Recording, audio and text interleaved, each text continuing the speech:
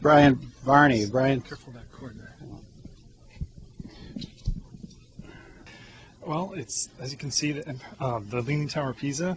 Um, it's about 12,000 blocks.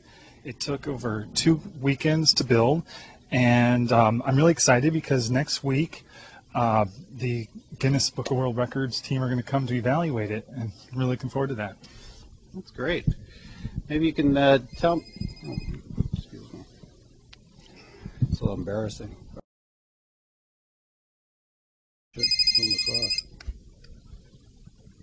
Uh, you're gonna have to excuse me. I'm I've got to take this. Uh, really sorry.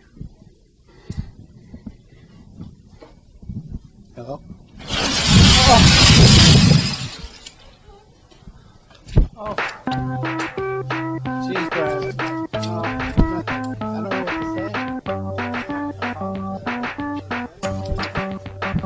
I'm really, I'm really sorry about